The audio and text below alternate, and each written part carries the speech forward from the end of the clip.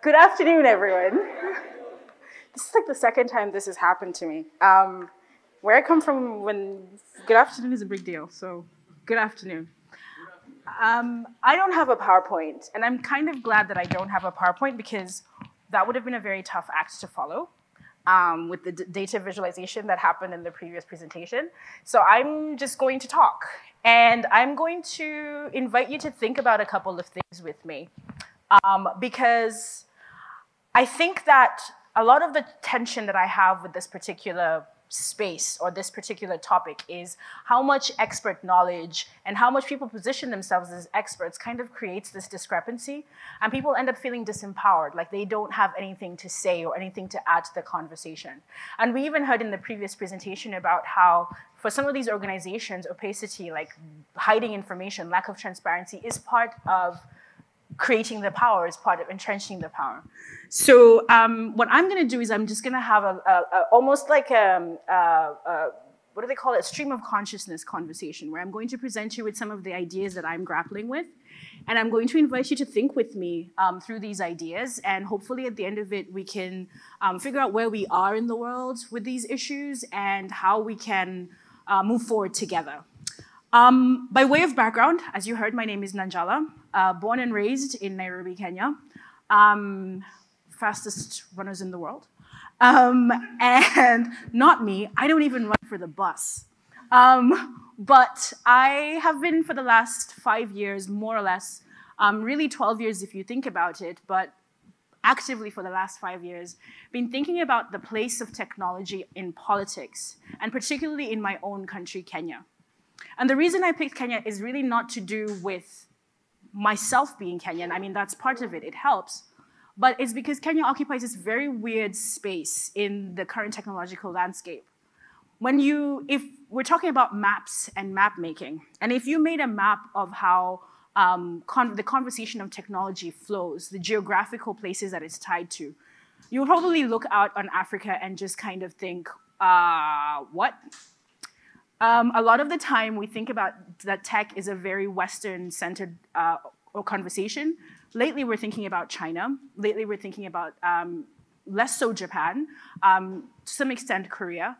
But what we're missing in the process of these maps that we're making about where technology exists or where technology is done is that for the, the bigger part of the world, this stuff is not a passive thing. Technology is not just something that lands on us and happens to us, but it's something that is actually being shaped by our participation and is being shaped by our agency and our histories and our political practices.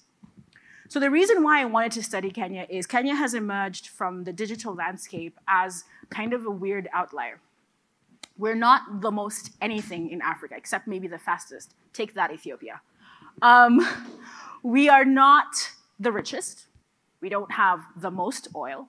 We don't have the most lithium. We don't have the most coltan. We don't have the most people. We don't have the longest coastline. By any considerable metric, we are a decidedly average country. So how does a decidedly average country become the world leader in mobile money? How does a decidedly average country become the continental leader in social media participation? How does this decidedly average country start to be a, a, a center for the conversation on how technology is going to impact politics, not just in Africa, but around the world? These are the research questions that I've been grappling with for the last couple of years. I've been trying to think about how why a British company would take $60,000 from a Kenyan presidential candidate to shape political opinion during a very hotly contested election. That's what happened last year. The current president of Kenya spent more money on British, uh, came from Cambridge Analytica than he did on his entire, the rest of his entire campaign. How does that then project and become the Brexit vote, Cambridge Analytica in the Brexit vote, and Cambridge Analytica in the Trump vote? When I think about these issues, and this is kind of why I was excited to be part of this conversation, because this idea of cartographies and maps and map making stretches the research that I've been doing into a very new direction. It takes me into a place that um, I have to put myself back into the research. I'm a political scientist by training. Political scientists were expected to deal in abstraction.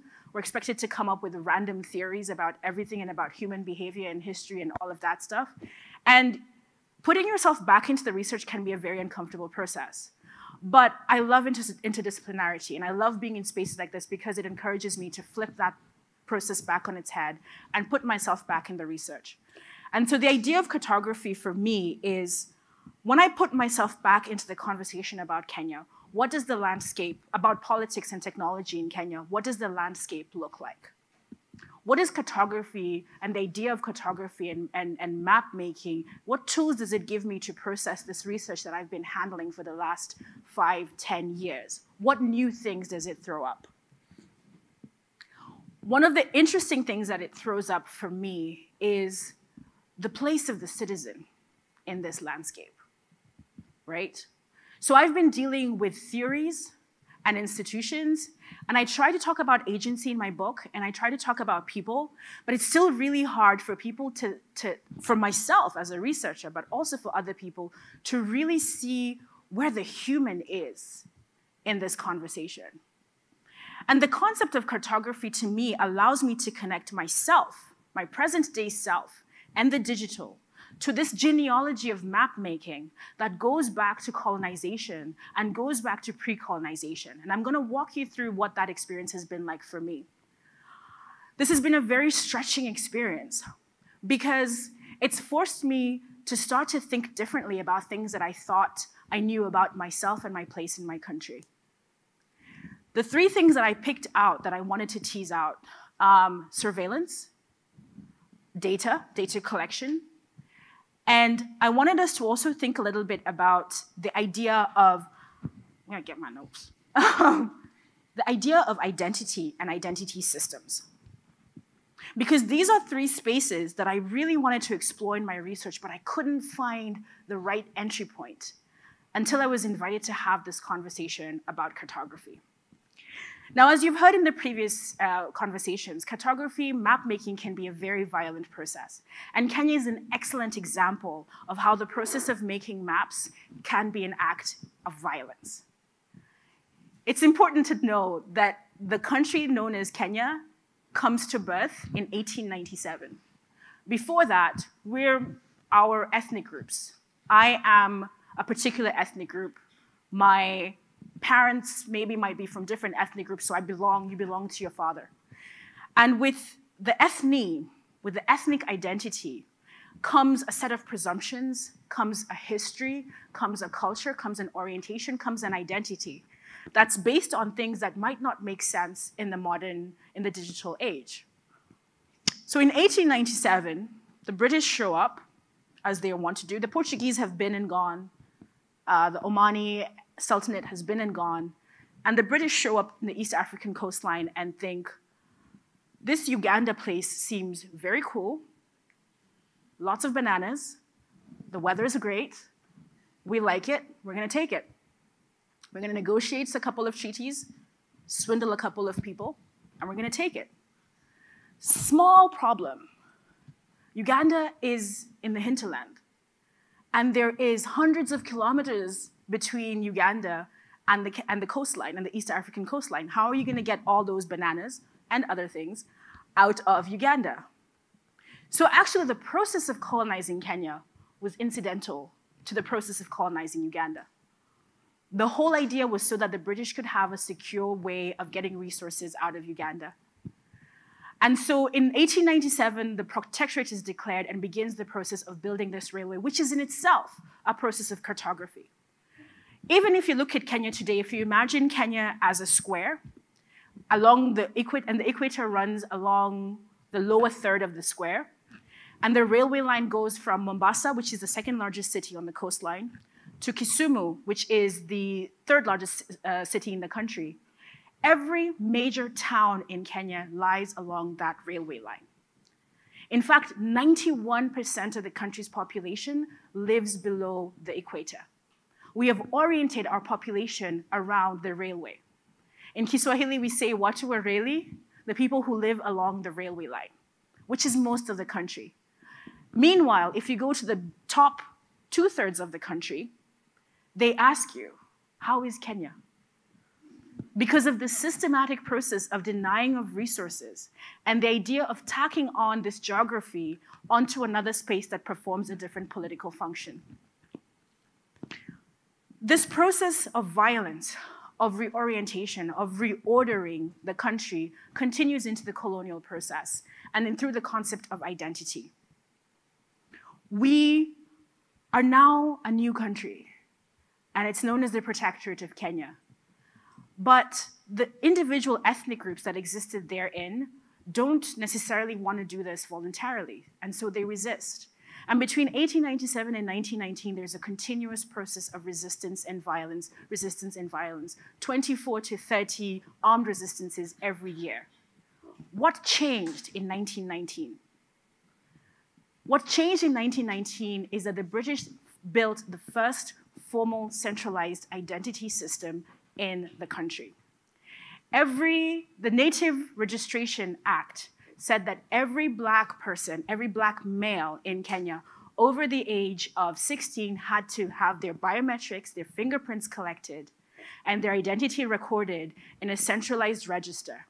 And if you were caught as a man outside the place where you were designated by your ethnic group, where you were supposed to be, where your identity was fixed, you could be arrested, tortured, disappeared, separated from your family.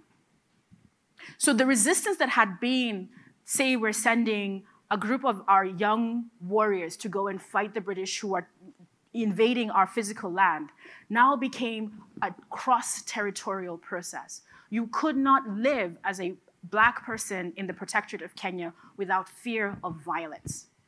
And this is what began the process of effective colonization in Kenya. And so the violence of taking that identity that had hitherto been fluid, you could marry someone in another culture and take on that culture.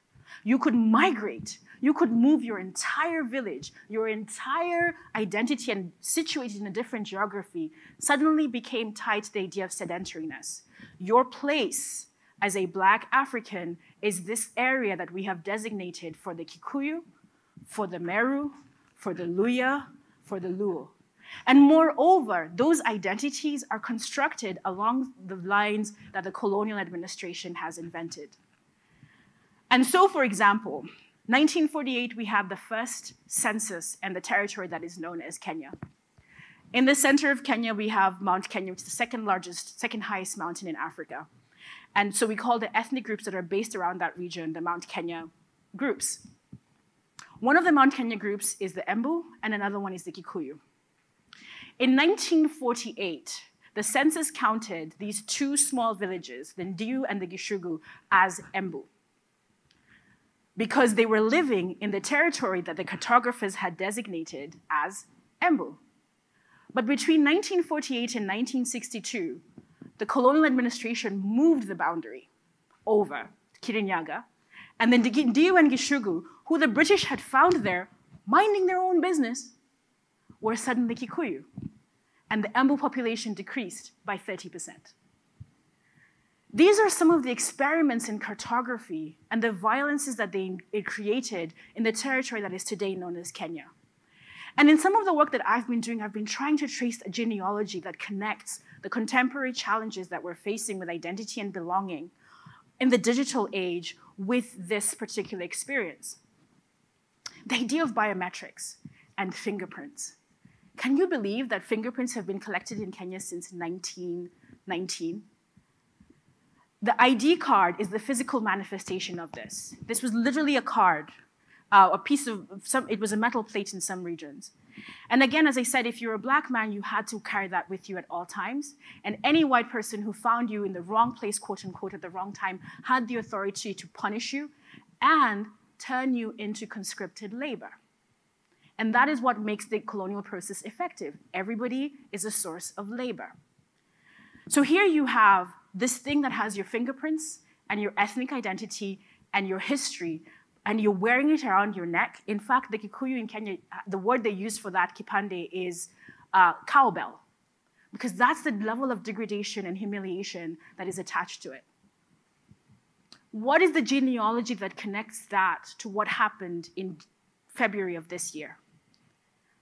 In February of this year, the government of Kenya announced that every single person within the territory of Kenya over the age of six had to go to their local chief's camp, which is the chief itself is a colonial construction, and hand over their biometrics and their GPS location, where they live, your connect so that they could connect your biometrics to your ID uh, card, to your tax number, to your health insurance number, to everything, a single source of truth identity.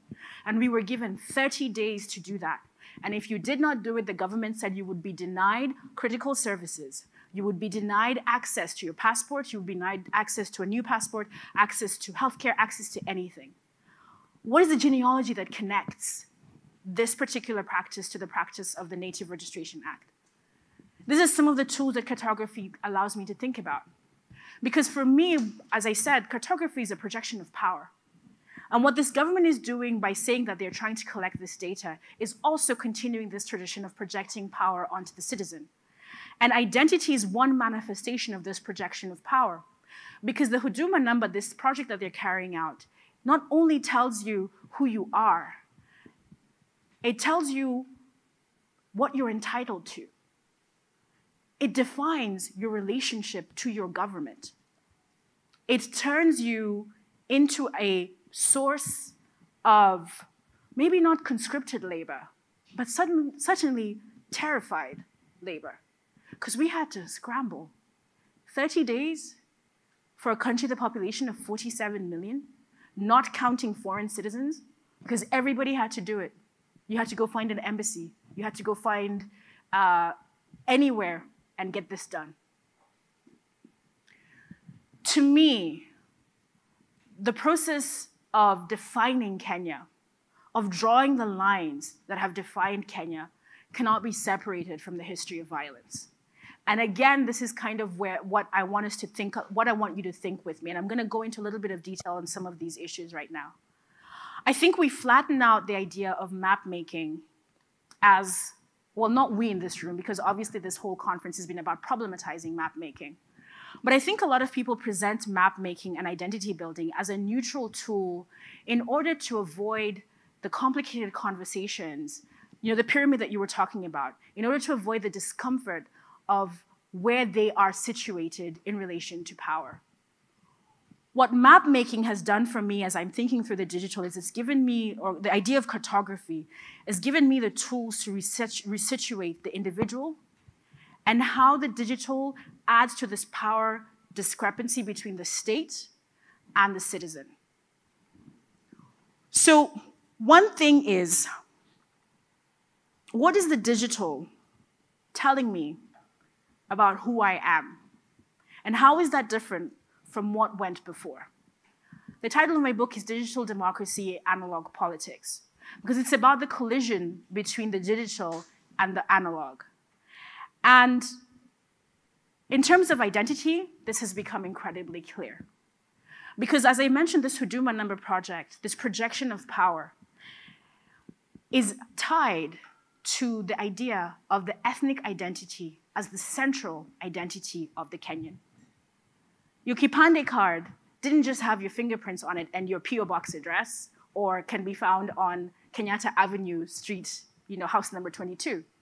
It said that you are of this ethnic group from this village. This is your father's name, this is your grandfather's name. It was a patriarchal system that defined your identity by the men that you were related to.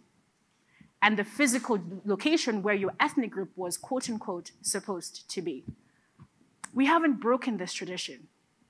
Today, if I see a Kenyan ID card, because I'm required, well, I'll take a step back. I had to wait four years to get my ID card because my family is from the border with Uganda. And one thing about that border with Uganda, in 1978, it jumped this way and then it jumped back the other way because that's how borders work. They are an invention.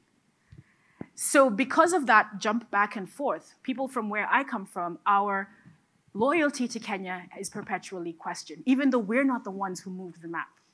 So we have to prove our Kenyanness. We have to be vetted before we're given ID cards.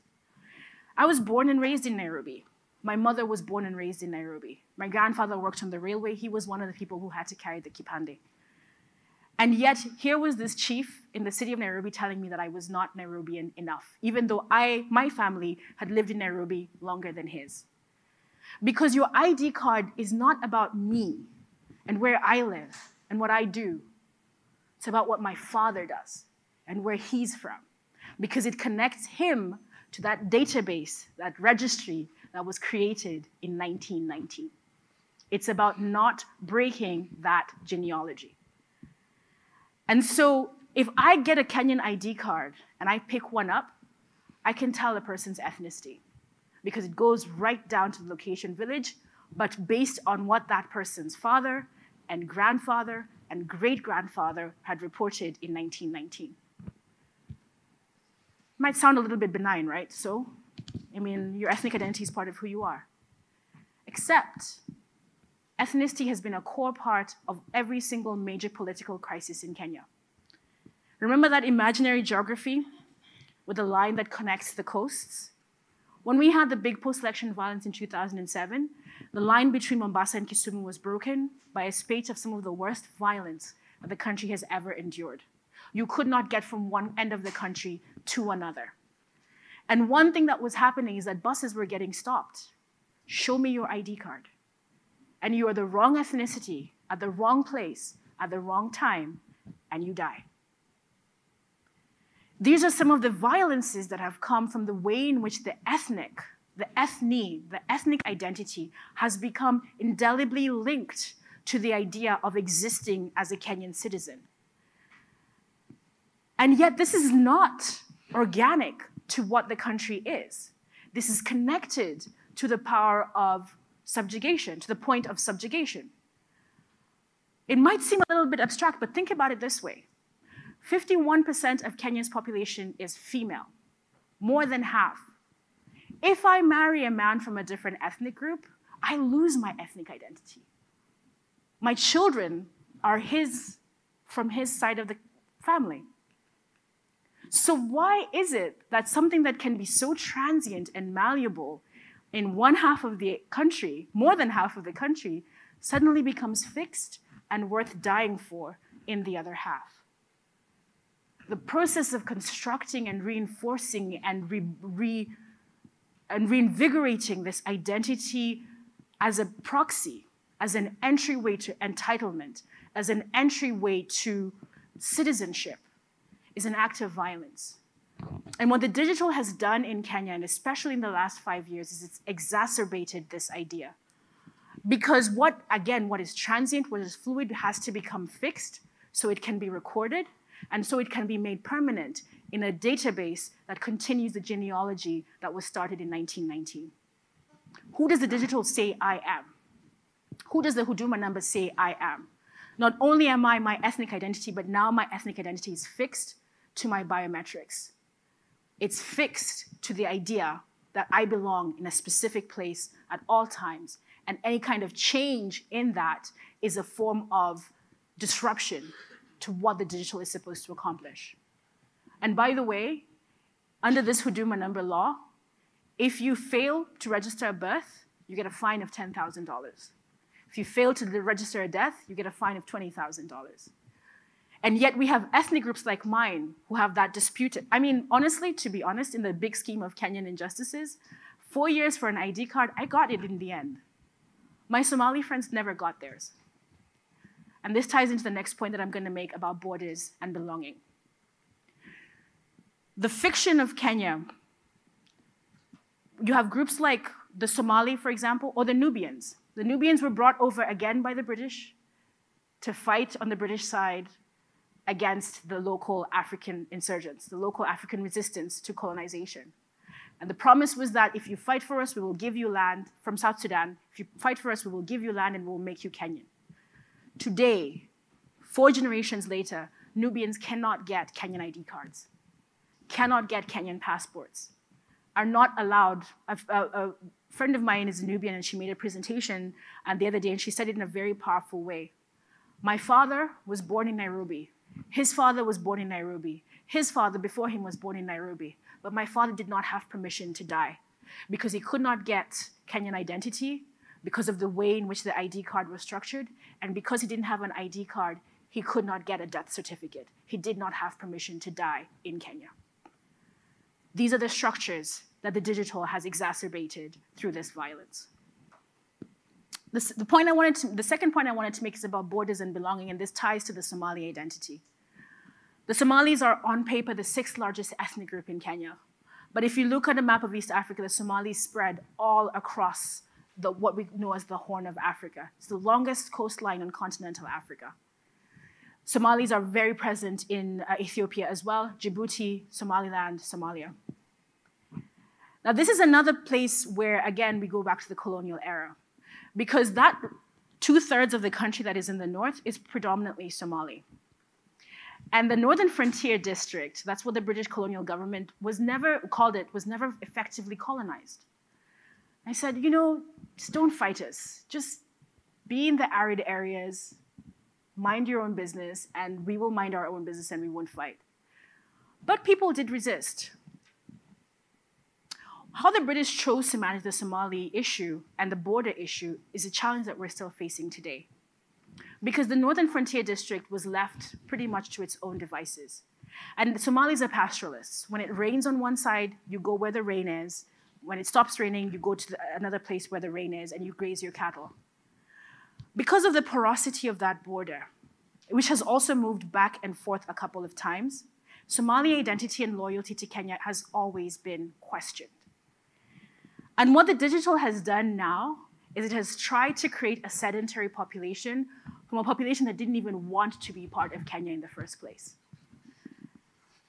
If you look at the current Somali flag that has five points, a star with five points, each of those points represents a geographical territory that is predominantly Somali. And the idea has always been that one day, what was this grand concept of a nation would be united and that was what they were resisting, being co opted into the story of Kenya when they didn't even want to be part of it. And they were punished by systematic denial of resources, a systematic denial of access to the central idea of the Kenyan citizen. What the border has done, and this, the border technology of biometrics and surveillance, is it has said that there is a line in the sand that families that are split between these two quote unquote countries are now citizens of different countries and must ask for permission in order to access routes, trade routes that they've been using since before Kenya existed, since before the notion of Somalia existed. Layered onto this is the contemporary war on terror and the terror group known as Al Shabaab, which is predominantly Somali. The projection of the American border onto Kenyan territory means that if I want to fly to Mogadishu, I have to get my bags searched four times. I have to give my biometrics at the airport in Kenya and at the airport in Mogadishu. And that sounds terrible. It's a one hour flight, it's unpleasant. But on the way back, I have to stop in Wajir, halfway between Nairobi and Mogadishu, get off the plane, take all my bags out, have my bags searched again, go back, check in again, fly to Nairobi again. Why? Because the American border that has been projected as a result of the war on terror means that everybody who leaves Somalia is a suspect until proven otherwise. The, the, digital has exacerbated this extraterritoriality of borders and identities, and the idea that we have to keep reaffirming our goodness and our worthiness. The idea that the state can randomly ask anybody, even if you're not actually going to that country, if you're not actually entering that territory, to prove who you are at any one time. Now we take our bo- the border with us. A policeman can stop you on the street and ask you to verify who you are, and you don't have, you don't have any, almost any recourse to that. And as a, especially as a black person moving in Europe, I feel this very keenly. I was flying to Tunisia a couple of weeks ago, and I transited through uh, Paris. We didn't even get to leave the jetway. I stood at the end of the jetway, and a Parisian immigration officer stopped me and said, Where are you going? I said, I'm going to Tunisia. Can I see your passport? I hand over my passport. Who's paying for your trip to Tunisia? I said, On what basis are you asking me that question? I'm not going to France. why do you get to ask me that question? I'm, I'm literally, it's a one and a half hour transit. I'm going to my next flight. So those are the rules. You have to prove that you're worthy to enter French territory so that you can pass through French territory. And this has been the practice for African travelers transiting through Europe for the better part of the last five years. We take European borders with us. We take American borders with us. And the digital makes this possible because of the ways in which people, with her little computer, with her little iPad, she can check that I had boarded in Nairobi and that the gate agent in Nairobi had checked my identity and my passport and my return ticket before she can allow me to transit through Charles de Gaulle. The modern experience of extraterritoriality of borders is rendered more violent by the digital, and especially on people who had already historically been excluded from the power dynamics, from the idea of a citizen. The last thing I want to talk about is data and the datafication of people. When this Huduma case was announced, the Nubian community in Kenya took the government to court. And they said exactly what I just said. We've never been given IDs. We've never been given passports. We've never been part of this Kenya. And now you've come up with a new way of excluding us and excluding us so thoroughly because we cannot be connected to that register that was created in 1919. And they, in the courtroom, the cabinet secretary for ICT was asked by a lawyer, why are you doing this? What's, what's the point of all of this? He said, unashamedly, data is the new oil. When your government starts to think about you as a resource and not as a citizen, as a person who provides something to the state, but not as a person who deserves to get something from the state, this can be a very disconcerting experience. And this is the challenge that we as digital rights activists are facing in Kenya, and I would say in the developing world.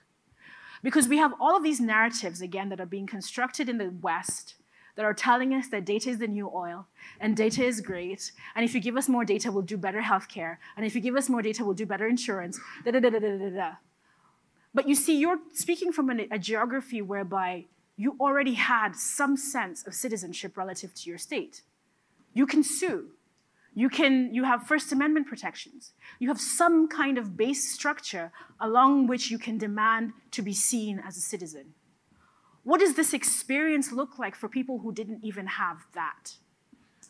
Being quantified, being flattened into your fingerprints, into your iris scan, into the state, your state of health, into the places that you go to, the places that you travel to, into how you move in your own geography and in the region. I actively resist this in my presentations. I use the word citizen deliberately because I want to bring this back into the conversation. Fundamentally, I think the datafication of citizens has distorted not just our psychic selves and our sense of orientation relative to the state, but also our physical self. What's the most important thing about me relative to my government today? It is my fingerprints. It is my iris scan. It is the photograph of who I am. It is not who I love. It is not where I dance. It's not what I eat. It's not my hunger. It's not my frustration. It's not my joys. It is, I, we're being reduced and distorted by the idea that our data is the most valuable thing about us. I'm being told to stop, and I'm going to leave it there. but what I really want you to think about, ultimately, I go back, I always go back to basics. Power. What does the digital make possible? What power dynamics does it enhance? What power dynamics does it distrust? I'm not a Luddite. I don't hate tech. I am mildly obsessed with Twitter. Um, I have a smartphone, even though I resisted it for many years. My, my boss told me I had to get one. Um, I think what the digital has done in many places is incredibly powerful. It's allowed us to claim space, for example, those of us who the state would rather not see, to tell stories about ourselves and to insert ourselves into the dialogue that we would not have been able to do otherwise. My granddad had to carry that Kipande pass and had to prove his Kenyanness on demand at any one time. I get to lead a resistance and to be part of a resistance to this datafication of the citizen. I get to tweet and to write and to speak up in a way that my grandfather would probably have loved to be able to do, to push back against the humiliation. So the digital is not just about throwing out the baby with the bathwater. My job is to complicate conversations and to give people the tools to think more critically about what it is that we are turning ourselves into or we're handing over to the states and what kind of power dynamic we're establishing or engendering. And so that's what I would love to leave you with.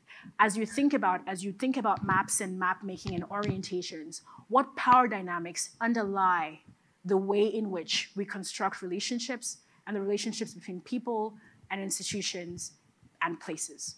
Thank you.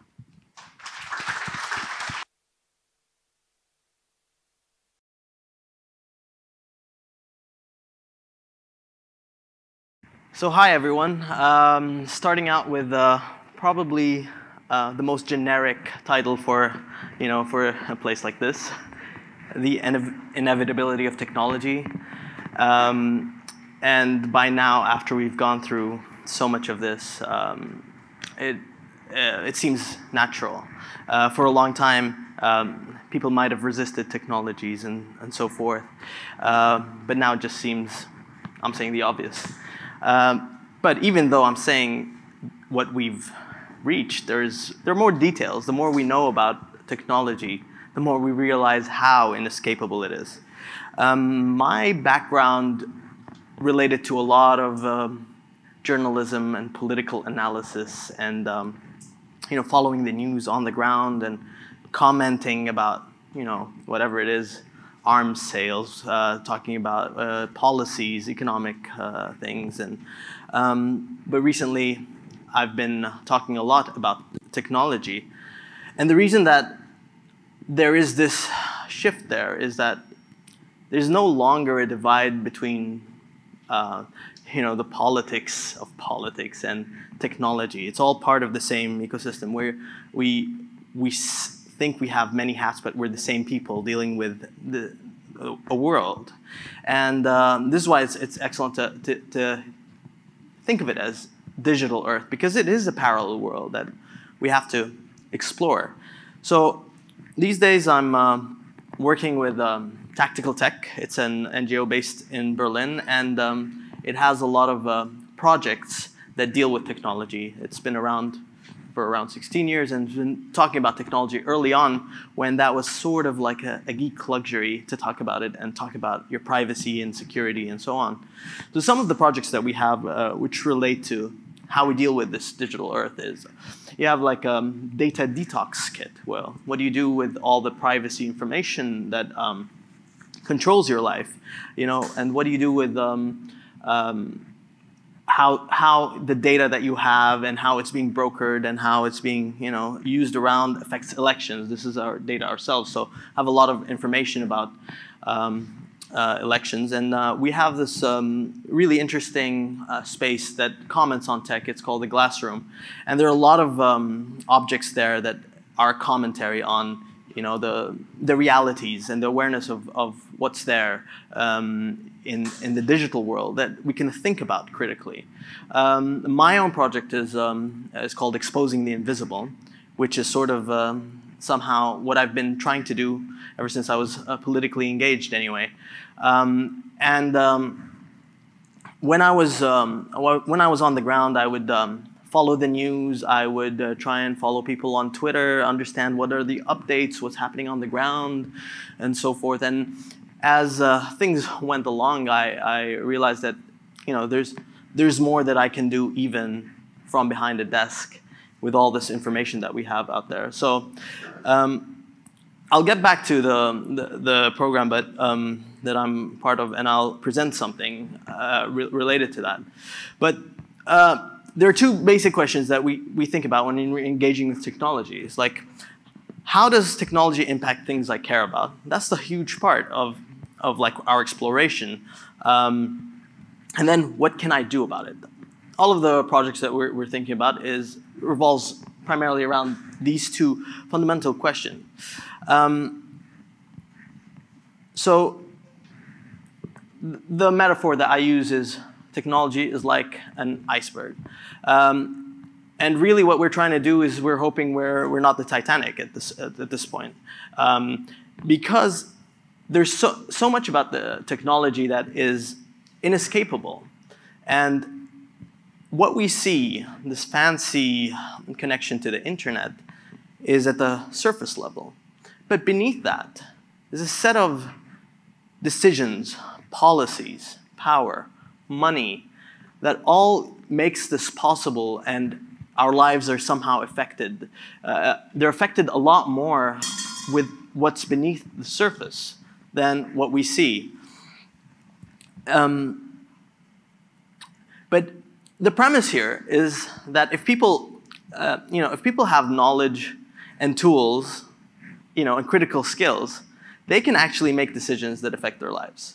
It's taking that one turn before you, you hit the iceberg is one, one of the things.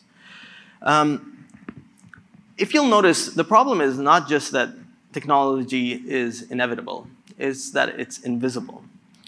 Um, these are images you can see here from Toronto, uh, Vancouver, and New York, and they're old images. And what we see in the, in the cities is that the wiring is so obvious and is so there. They've just built it. We're going to wire, we're going to deliver technology. It makes things easier. Um, but what has happened as we go along? Wires are disappearing. And really, what that, is, what, what that is a metaphor for is that we're trying to hide the inner workings of, um, of technology. So maybe it looks better, but then also our ideas about it are so different. And now this is why technology is almost indistinguishable from magic. Um, it, they both do the same thing, like, like doing something extraordinary while being invisible or hidden.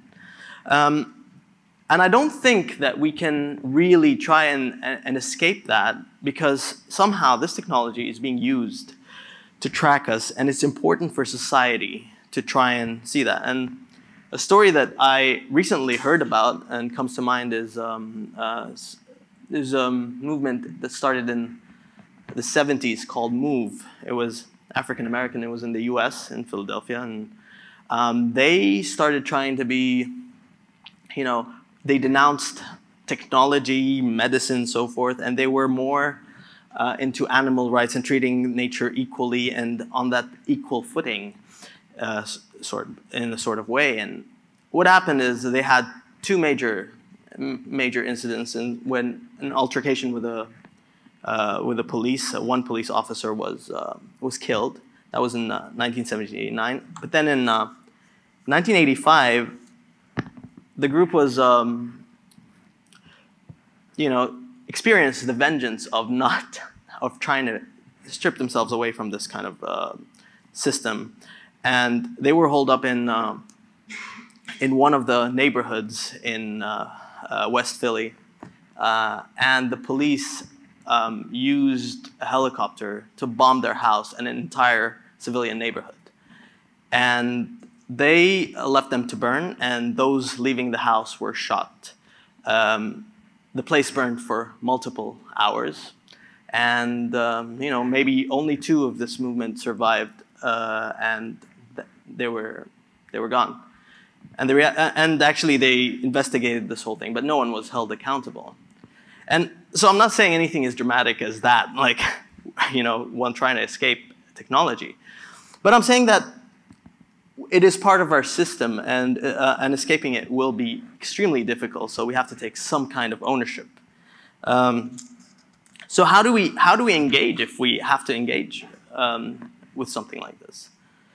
Um, and let's start with this idea of, you know, maps, um, cartography. We're talking about this. And um, the interesting thing about uh, the maps, I, I, would say, is um, there, I feel that the digital world is become uh, less so a paper map and more so like the matrix. It's uh, a lot of code that's flying around. That is a potential map. But in a sense, in a sense that we can't see, it, it already is a map. We can see um, it, we can transform it into maps. Uh, there was a great definition of uh, kind of maps that we see are trying to curate complexities. And I like that. That's, that's exactly what we're trying to do.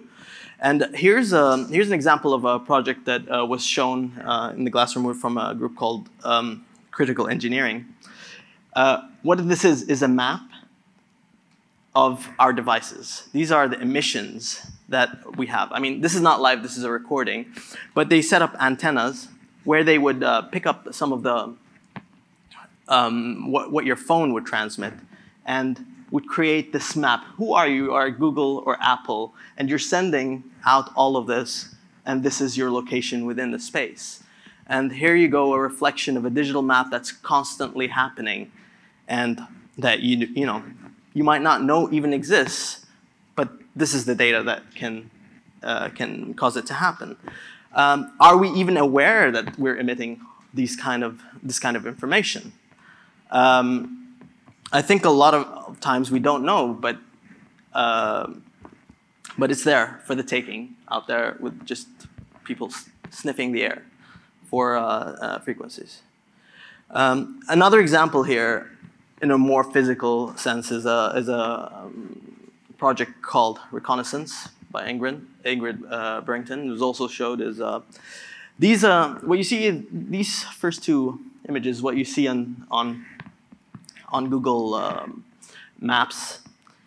And the first one on the top is actually, um, uh, it's called Lithia Springs, and it's, it's got um, this information about, uh, you know, it's a green area. But what it actually is, if you think about it, if you actually see it from a different perspective, it's the Google data servers. And from their, um, uh, from their own software, which they control, they have hidden it.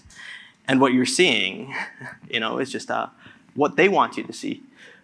Sure, Google has uh, many layers of terrain and uh, roads and maps and so forth. But the reality is we don't know what what we're seeing, and there is still a dimension that we of authorship that that is missing from us. The second one is actually an, an airbase, is um, Volkel airbase, and it's the same thing. But you know, the idea it's not just these places. Um, Google doesn't cover a lot of conflict areas, and uh, there is um, U.S. law that prohibits American companies from taking uh, aerial photography of Palestine. And so you could never find high resolution uh, imagery of that. And it's by law and it's controlled. We don't have an input. Um, but for example, some groups try to resist it. I don't want to make it seem completely uh, hopeless, but some groups resist that. So there's a, there's a group called uh, Public Lab that actually uh, helps with do-it-yourself aerial photography with using kites and cameras. And somehow you can just fly a, a, kite over an area and get this aerial photography, which is primarily a military idea of looking at things from, from the top. But we can still use that. Like most, most ideas are start with a military um, motivation. Um, the other thing is, um, yeah, maybe, maybe I can actually kind of skip that one um, just to get to other things. But or maybe I can just show a little bit of it. Um, there's no sound, so wait. There's a, there's a project here. You'll see it come up right now where people have changed the Wi-Fi, have simulated Wi-Fis. And if you look here, what they've done is they've managed to trick Google Maps into thinking they're in a different area just by sending it the wrong information. And so now we've given some kind of input that, uh, that changes uh, this kind of uh, idea. I was, I was going to play with audio, but um, it's fine. Um, I think we could go back to the presentation, but um, the idea here is that they've set up uh, a system where the information for the wi uh, Wi-Fi hotspots were, were completely different from a different location. So people, when they went out look for cafes, you know, who knows how Google knows your exact location, right? You know, GPS. But a lot of the time, they rely on the Wi-Fi information. And so how can we trust that it's always telling us to do that? With this, with this kind of reliance on, on Google, we can manipulate it. Not enough to give us what we want, but we just don't know how, what we can trust. I'll get into um, uh, the hope here, right? Like, like I said before, is that if we have access to information and we have informed uh, action, you know, choices and action, that we can somehow influence our own lives. That's the theory. That's, that's the main theory. Um, it's debatable at this moment in time, but that's the minimum that we have to start with. Um, here I'll go into the project that, uh, that we're working on. Um, you know, funny animations of me and uh, Laura, who helps, uh, who, who, runs this with me, and uh, it's about exposing the invisible. And the main premise here is that there is a lot of information that's out there that can actually be used to uncover wrongdoing. Um, exposing that iceberg is exposing someone's corruption. It's there beneath the surface. It's, uh, you can, uh, just like you can tell um, the idea, like just visiting a site when you see a Google map and just going there and to see, for example, shows you something. And then there might be this kind of chance that we have of creating some positive um, change. But let me, let me uh, go into like a kind of investigation that I have been recently doing, and it's kind of unfolding. First time I'm speaking about it. Um, um, yeah, I mean, here obviously um, it's going to be about uh, Twitter. Okay, the idea now is Twitter has always said that it's a it's a medium of free expression and it's about speaking truth to power. Now, but really, what is what is truth these days? It's getting harder and harder to to know, right? With the abundance of information, so that requires a lot of digging. Um, and I think that at, at, the present moment, even speaking truth to power is, you know, is not very useful. But let's get, get into it. Uh, one of the uh, things that, like the descriptions that were, were uh, uh, in this program was called algorithmic regimes.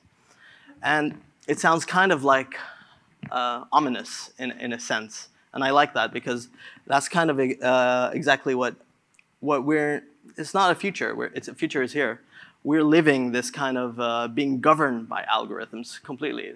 So um, as you can see, this is the Twitter bird being shot if trying to escape. and mostly Twitter, instead of free birds flying around, is a cage. And how's that happening? Now, the idea that, I mean, I used Twitter and it was very, very, um, such a cool way of kind of like exp experiencing uh, the Egyptian revolution or experiencing politics and fi finding things uh, on the ground as they happen. Uh, but uh, the reality of today is um, kind of different. There have been a lot of complaints that have been happening around, like, yeah, why is my uh, account suspended? Why is, uh, why is this happening? I actually went into it and kind of looked a little bit. Uh, the story starts with, uh, as it always does, when one of my friends was suspended. He was a uh, you know, an Egyptian graffiti artist uh, called Ganzeer. And one day, around the 30th September, 1st of October, he was suspended uh, off Twitter. And um, as I was thinking, why would they do that? And let's try and get into it. I realized it wasn't just him. What was happening is a mass suspension of people. Someone tweeted out, who else has been suspended for one day? And what I collected was around 150 people. Um, when I looked into the 150 people, there are one side of a political spectrum. Of course, this can come from my own, uh, the bias of my feed, but I looked into it a little bit more. Is there anything, is there any explanation? Of course, there is no explanation, except a couple of days later, um, Twitter issued an apology and says, we're sorry, we locked some people uh, out of Egypt um, during a routine uh, check. except it wasn't accurate. A lot of people were in the United States, were in other Arab countries, and the one thing they had in common was that one political, you know, side. It also came at a time where um, there was a lot of movement on Twitter that could be translated to something on the ground. Um, this was very interesting. I probably will never get a, a real answer to that, except my observations. But as I was going through this, I found something a lot more systematic and a lot more dangerous that was happening. Um, a lot of people sending me in their stories have complained about being not being reinstated, about being permanently suspended. Uh, and I realized it wasn't part of the mass suspension. There was something else that was going on. And after collecting a lot of um, evidence, I found that Twitter was misapplying its own rules. It was marking people for hateful conduct when they hadn't broken any rules. And when, and when people would appeal, an automated system would respond. Um, what really happened is uh, I discovered that Twitter was applying hateful conduct to anyone who responds with a swear word in a response to a tweet in the Arabic language. The same wasn't happening in English. It was only happening in the Arabic language. And what's more, as I went through this, uh, I tried to, to I, I did an analysis of all the, you know, the names and stuff, and I did the, I used a very light swear word in response to uh, Twitter's account. And I was locked for 12 hours instantly. I appealed. I said, hey, guys, send someone who uh, reads Arabic. This is, uh, this is okay. I just called the, you guys hypocrites. You know, called a, uh, an account hypocrite. And immediately, like, not immediately, within an hour, I got a response that, no, we reviewed and we're sticking to our decision. Um, you know, of, co of, course, I wouldn't. Um, uh, I wouldn't let it go. I wouldn't let it go. I tried it, and here you go as a collage of all the people responding to Twitter, to, to, to Twitter or to other people, joking together, you know, and saying, "Hey, um, you idiot," or so on. But you know, whatever whatever the language they use, and they were suspended, and some eventually led to permanent suspension. Um, so I created a, um, I actually created a, an account, another account. I didn't want, I didn't want to lose my account. For some reason, I still held on to having that. You know, it served me through the years and so on. Um, so I created an account called Terry Bird, and um, you know, I actually, the most interesting finding is not even the swear words. What they did is they blocked things that sounded like the swear words right? Uh, and to just give a, an English uh, speaking audience an idea of it, if you say what the fox, they would block fox. If you say shut the front door, front door would be targeted. So I tested that. I created Terry Bird, and eventually I wrote a word that sounds very close to a light swear word that people who don't swear use, right? So, about hypocrite. But here's the final result and people who speak Arabic will recognize. That Mr. Nabil, you're constantly exposed, and that's the word that sounds like it, to danger. It's important that you reveal the truth without putting anyone in danger, either this or present the story from your point of view. It's nonsensical, I know, but you know, somehow it's, it's still something. And immediately, it was um, gotten into permanent suspension, and no appeal can get me back on track with Twitter. Um, so the so the idea here, it's it, we're we're here actually, right? I mean, we're at this uh, position where it's not gonna it's not it's not the futuristic what happens when machines control um, your, your you know your your life. It's uh, there are consequences here, and the consequences here we can disagree about what you know what's important and what's not. Um, but all the data that you built for them is gone.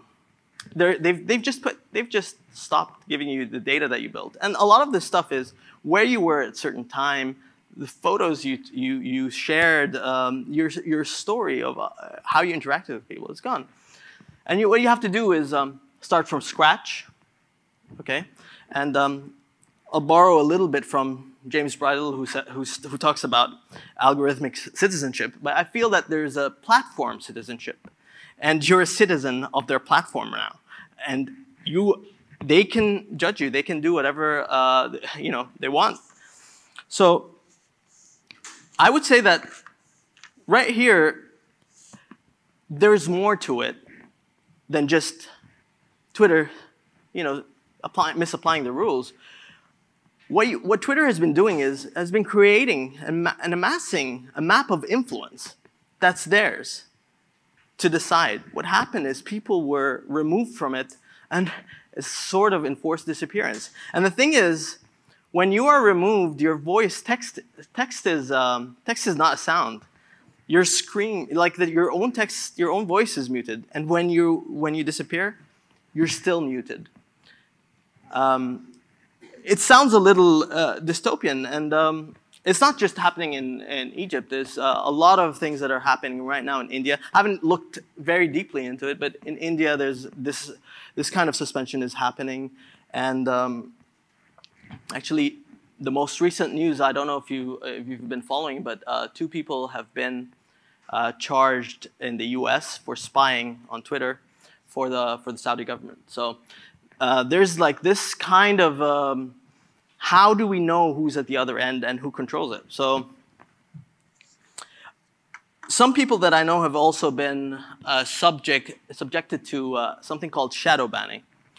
Um, I didn't know what that term really meant, uh, so I'll try and explain it. Maybe, uh, maybe others don't know it, but uh, it's a very interesting term, which means that if you send out a tweet it appears on your timeline. It's not removed, it's not hidden from you, but no one else can see it. And um, I found that extremely terrifying. It is um, this oblivion to, to how you're being governed. Uh, they don't need to tell you. Um, and in a way, uh, it reminds me of a quote from Dostoevsky who says, uh, The best way to keep a prisoner from escaping is to make sure he never knows he's in prison. and in a way, we are kind of uh, imprisoned in, in, that, in that manner. Um,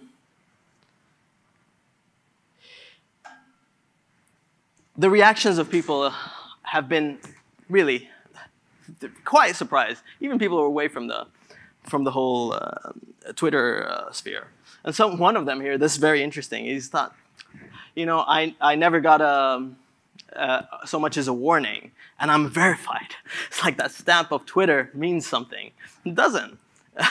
they give you that stamp, and, and, and you think it's it's uh, it's something, but it it isn't. And then someone else wasn't return, you know, wasn't responded to. What can you do? It kind of feels like helpless right now, right? Um, and I and I think that probably coming to to the end. Um, I would say just, I'll leave this thoughts that, that's, that's with me. I, the program that I work with is called Exposing the Invisible. And there was this notion of if you expose it, then you've done something. But is it enough, really? I mean, today I think we've been so oblivious to what's happening that have we passed the point of no return about just exposing? Maybe there is something more that we can, uh, we can do. Um, but in any case, I mean, and this is like a much bigger topic, but what, what, what I come out with here is um, who are the authors of our digital maps? Sometimes we feel that we are. We are sometimes we are the authors. Um, but who controls them is more important. And um, what we're seeing right now is a digital earth with digital borders. And really, the idea of eliminating the borders that we see that are written on maps, which are really oppressive, is quite, quite a great emancipating idea. But it's replaced by digital borders. And at face value, this opens up possibilities, but at the end, maybe they impose stricter rules. And what's really dangerous about the rules that they impose is that they're tailored to us. the, the citizenship that we have is just like targeted ads. We have our own, they have their own rules, and they can whisper to us what their decisions and what their judgments are. Um, and that is terrifying. You're doing it alone. You, you, you, you digitally die alone, in, in a sense. Um, so, I mean, I think with just this small example of a Twitter investigation, it shows that, I mean, it wasn't that difficult investigating it. It just takes perseverance and a lot of time and really converting what you think and what you feel into some kind of actionable um, explanation of how you've been targeted, suspended, removed off a platform. Um, it takes a lot of work, but it's possible for us to, to have this ownership of understanding what's invisible about technology, even if we're not technologists, just by observing and making sure we do this black box testing. We search from outside, try with different inputs, and we can gather some information. So I think maybe now I kind of, with this particular example, I've answered the first question that we, we, we ask is like, how can technology affect us? Uh, the second question is trickier. What can I do about it? Is it enough within your own personalized digital border to, you know, do something? Or is this something that needs to be done needs to be done collectively? Um, I will leave it on this note. Thanks for listening.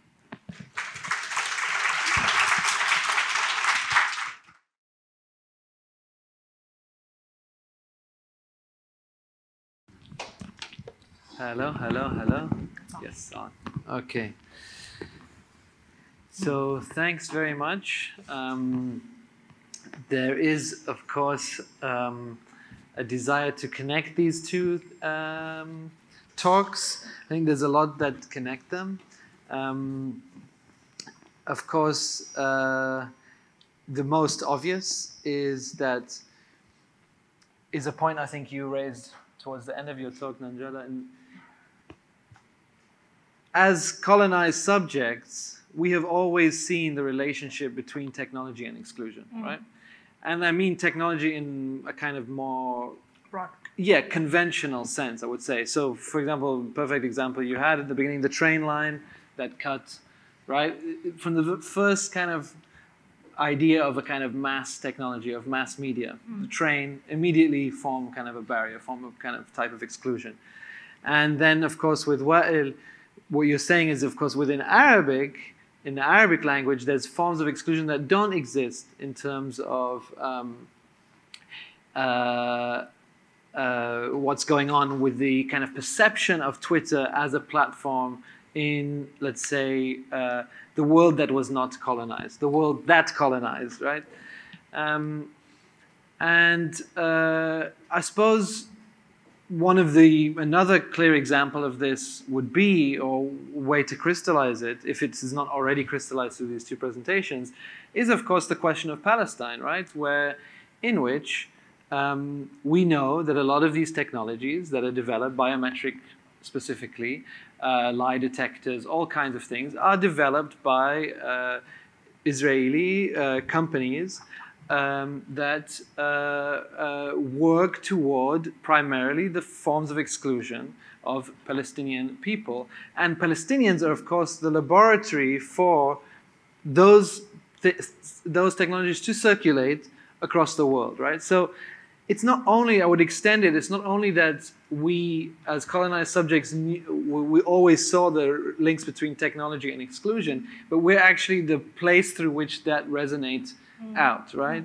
Uh, and actually, forms of exclusion are the, the patterns through which uh, technologies actually develop. They're the engine of uh, technological ingenuity. So I just kind of like wanted to put that there for the two of you to kind of like expand upon in a way. oh, out loud? Okay. um, I I'm really glad you brought that up because that is something that I wanted to talk about that I I, I didn't talk about, and this idea of um, one of my favorite uh, thinkers, political theorists, is Immanuel Wallerstein, he just died uh, two months ago, and he came up with the idea of the world systems theory. And the core, he breaks up the world into a core and the periphery. And the core countries are basically countries that are in manufacturing, processing, service industry. And the periphery countries are basically designed to be seen as sources for raw materials. So to keep resources flowing into the core so that the core can become wealthier. And with the technolog- with the conversation about digital technologies, you really see this core periphery dynamic starkly. You really see the idea that tech is something that is built in Silicon Valley, it's built in Berlin, it's built in London, and whatever, to be consumed indiscriminately in other parts of the world. So uh, we're just laughing earlier because Jack Dorsey from Twitter is in Nigeria today. It's the first visit he's ever made to Africa, even though Twitter has been, for example, in Kenya, we've been using it since 2006. We used it to do election observation in 2013. We used it to do election observation in 2017. It's been the site for some of the worst political misinformation campaigns, hate speech, but also positive mobilizations, my dress, my. Tr- I mean, I literally wrote a whole book about it. And he is his first visit to Africa, and he refused to speak to the Nigerian press. He did a press conference in which he showed up for 10 minutes and said nothing and then left. And you really see this core, like technology is not developed with the periphery in mind. The periphery kind of consumes it, is, is supposed to consume it passively, but it's also supposed to be a laboratory for experimentation. It's also supposed to be the place where some of the um, ideas get refined before they get reapplied to the core. And this is what, like when we talk about Cambridge Analytica, this is what happened. You know, when I tell British audiences, American audiences, Cambridge Analytica has been active in Kenya since 2011, has been active in India since 2011, has been active in Nigeria since 2015, has been active in South Africa since 2011. And all of the things, the misinformation campaigns that Western, British, and American audiences are freaking out about now were refined on African audiences, were refined on Indian audiences before being rolled out um, in, in, in quote unquote the core. And when you mention sort of Israel and Palestine, the I don't know how many of you saw the story about the WhatsApp um, NSO hack, whereby you would get a message on WhatsApp, a call, and you didn't have to take the call. But once the call was received on your WhatsApp, it would plant um, a spyware that would allow people to harvest information from you. Now, which countries are buying this uh, technology? And you look at, you run down the list of the countries. One of them is Rwanda and Rwanda using it to um, harvest information because Rwandan opposition figures, this is being recorded, I have to be careful, um, have a tendency of showing up dead. Um, people who oppose the government mysteriously um, showing up um, dead in very strange circumstances. And Rwanda is one of the countries that has purchased this technology from Israel that has been piloted, tested um, on what we call periphery audiences.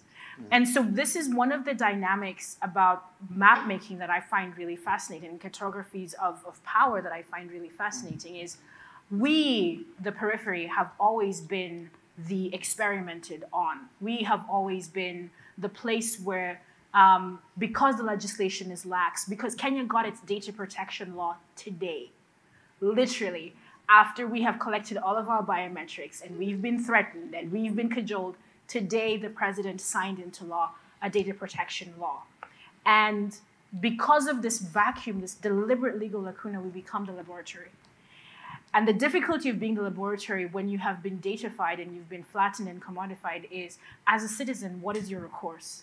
What can I do to make Twitter accountable or to make Facebook accountable for a misinformation uh, campaign that leaves 37 Kenyans dead?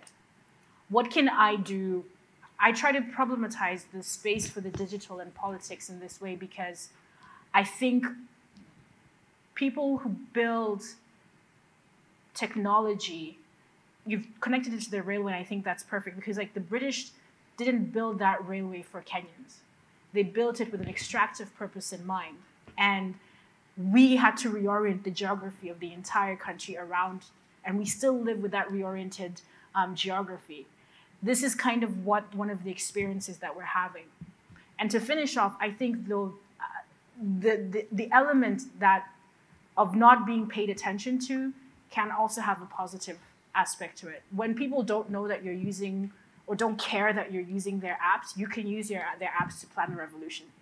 The problem comes in when the revolution succeeds and then they decide, oh, I want to start paying attention to what these people are doing. And this is where when, when uh, Jack announced that he's coming to Africa and he's going to these handful of countries, the reaction wasn't, yay, finally. It was, oh, crap. Mm. Because being able to fly under the radar as the periphery means, gives you a space for agency that when you become a commercial opportunity, you necessarily lose. When you become a market, when you transition from being an afterthought to becoming a market, a target market, a growth opportunity, a new frontier economy, you lose space for agency because you have to, you haven't made that transition to full citizenship. Yeah, and I wanted to extend it also in the sense that um, you know it's also who how these things are perceived as engines of free speech and to who they're perceived as engines of free speech. And I think what you point to is exactly that they don't care if Arabs know that Twitter is censoring them. Yes. I mean, I can talk a lot more about how they don't care after yeah. I shared this finding with them. Um, they, I mean, to say that they don't care is one thing, but uh, to say they can't be bothered mm-hmm. is a, is more probably more accurate. One of the things I, I didn't really talk about, but there was a screenshot of someone from Palestine whose all their media verified accounts were stopped at the same time. And as I saw this, I'd just done my my research. I was like, no hope, no, no reaching out to anyone. I reached out to a lot of organizations. I reached out to the UN Special Rapporteur on Freedom of Expression. I reached out to a lot of uh, people who were in a position to talk to Twitter. But this was policy now. Mm. It wasn't a mistake. And they were managing it. Um, th that's the sense. And I mean, everything is PR, right? Like recently, Jack announced that he, Twitter won't engage in political ads. Yay, great. But they've shut down voices and created conversations and decide uh, many other things without the need of political ads. They're building an influence uh, network in, in that sense. So, um, yeah, they, they, they have uh, denied the findings even though they're repeatable, reproducible, and so on. And um, until they face some consequences, I feel they won't do anything. But I mean, Twitter here is not the issue. Mm. It's just this is a, a company that, that, that says we support free speech. Other corporations are like, we're not in the business of speaking truth to power. Netflix mm. just did that yeah. um, with Hasan. With ha Hasan Minhaj. Yeah. So, yeah, I suppose. Uh, I mean, yeah, I mean, there's a lot to to ask. I mean, to develop on, but I suppose one other thread that I found really interesting between the two presentations was this idea of some kind of fictions, right, that are being generated or that are being um, written. And I think in your presentation, the sense of fiction is also uh, very much, you know, related to the border itself as a kind of fiction, but also, you know, I mean, you mentioned the case in uh, Somalia, and that's also interesting in terms of how uh, the asylum system, let's say in Europe, has developed certain fictions around uh, those borders, right? So, for example, the designation of safe and unsafe zones. Mm -hmm. So, to say that you can return if you're an asylum seeker from the north of Somalia. Yeah. But if you're from Mogadishu or coastal area of Somalia, you have the right to asylum, right? So they have a vested interest in proving through accent analysis, through other kind of digital technology, that people are from the north of Somalia and from safe zones, therefore denying them access to citizenship, uh, right to uh, migrate, all these kind of things. So my point is that there is always and continually in the genealogy that you show strategies to use technology to create borders that even exceed the national uh, borders, you know, and, and, and these same kind of uh, in, inner borders that you were speaking about in, in your work. So this kind of idea that, that and, and, and the continuation of that is, of course, that those people who go to do those asylum uh, interviews, etc., are actually forced to lie because the fictions that the bureaucracy produce of the ideal asylum seeker does not, in fact, exist sometimes, or it exists somehow in a weird kind of parallel universe. So, I wanted to just ask you about kind of fictions in a way. I love that you brought up that question because it touches on the other body of work that I, I tend to work on, which is refugees and migration. And the connection, the connecting thread really is on one hand, when I'm doing the political analysis, I'm looking at the citizen that is located within a geography that is tied to a physical geography. But when you look at refugees and migration, you really see, as you the word that you've used, you really see how many of the things that we take for granted are convenient political fictions that we used to reassure ourselves about how the world works, but actually are really very tenuous. Um, the whole idea of worthiness and identity and um, citizenship and belonging being tied to worthiness has been so thoroughly applied to the refugee population. And now we almost have this creeping, um, it's seeping into other aspects of our lives. The first populations in Kenya that received the excesses of the digital um, biometrics, data collection, all that, were the refugees. Kenya historically has the largest refugee camps in Africa. It's changed a little bit because, again, of the politics of America's extraterritorial borders. But um, we had, at one point, the Dadaab refugee camp had over half a million people. If they had allowed them to count it as a town, it would have been the third largest town in Kenya. But again, we talk about cartographies in fiction, Dadaab doesn't exist on a map. The town of Dadaab, the, the host city, you find it, but its population 18,000. The half a million people or so don't exist on maps of Kenya, the half a million refugees. And so the biometric system that was rolled out by UNHCR to det- determine who gets food, who doesn't get food, who gets um, access to services, who doesn't, is about worthiness. It's about filtering the refugee population from the, first it was about filtering the refugee population from the host community then it became about finding good refugees from bad refugees, people who were being double counted, people who had been defrauding the system. Then it became about people who had gone and come back because of this idea of safe zones, that if you were taken to a safe zone and you came back, then you were trying to defraud the system, and we've got you. Mm. And what you see as the uniting principle in all of these things is these systems are not designed to include, they're designed to exclude. They're designed to find good people and provide them with services that they're entitled to. But primarily, what they do is they exclude the vast majority of people because of the, the fiction of scarcity of resources. The idea of building a the Huduma number biometric system, the way the state justified it is we're going to provide you with services. The same language that UNHCR does with its biometrics. We're going to provide you with the services that you are entitled to. But what it does is what they're saying is this, the Nubian population, the Somali population, people like myself from border communities who have always been excluded from identity structures, you're not worthy of these systems. So the first thing that they do is they exclude.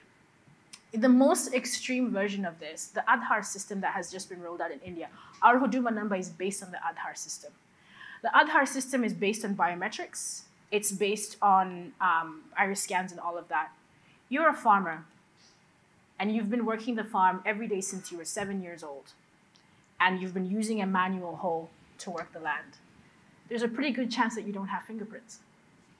There's a pretty good chance that your fingerprints have been burnt off if you know you're working in the house trying to lift a pot without oven mitts, because not everybody has oven mitts.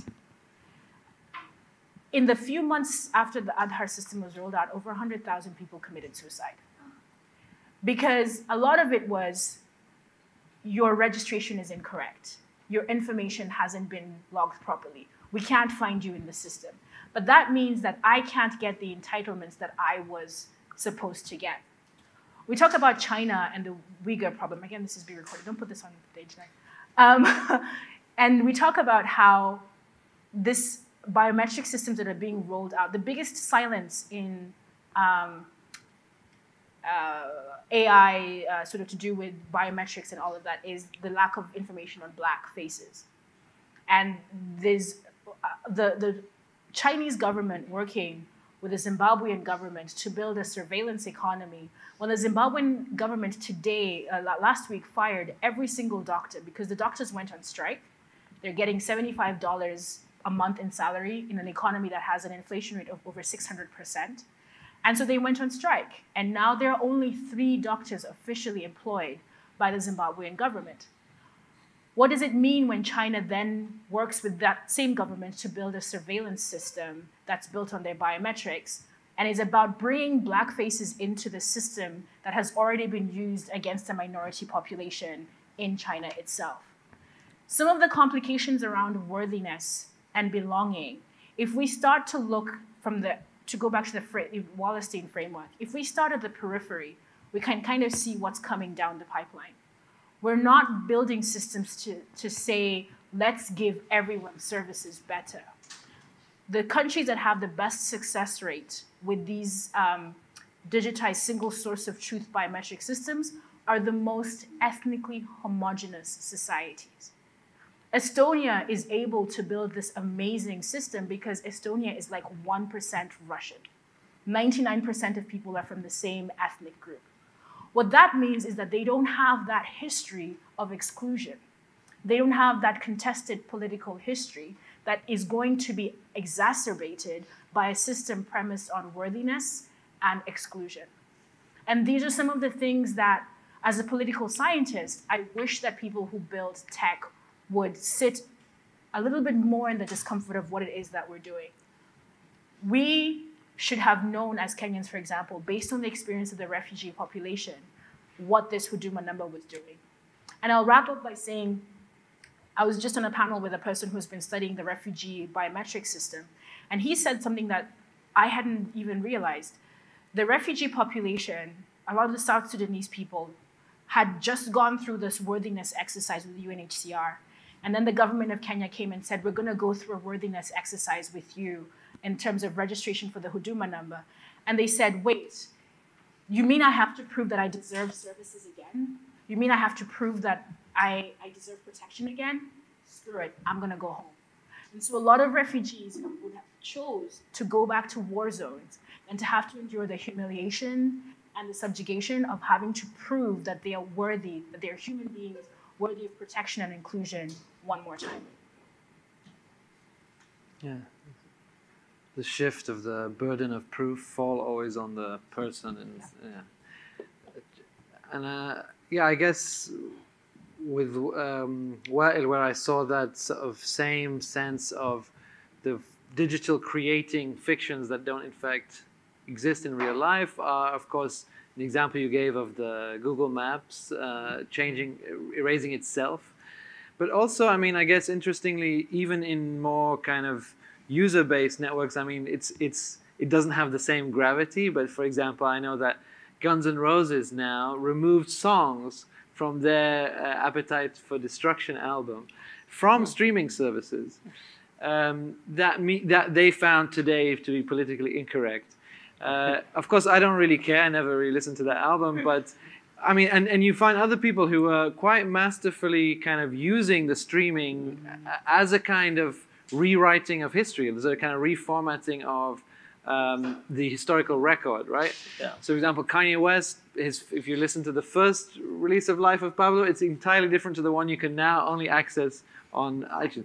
So, so it's actually quite interesting to think about maybe also some of the way that this could also be used uh, in terms of the way you were thinking about sort of shifting the location on Google Maps and these kind of things. Well, the the interesting thing here is people who can rewrite their history uh, have a lot of uh, power and resources, mm-hmm. and that's the key here. Um, this is the same thing with big corporations, but people who have the rights to their own data can do that as well. Mm-hmm. The problem is we don't have the rights to our own data.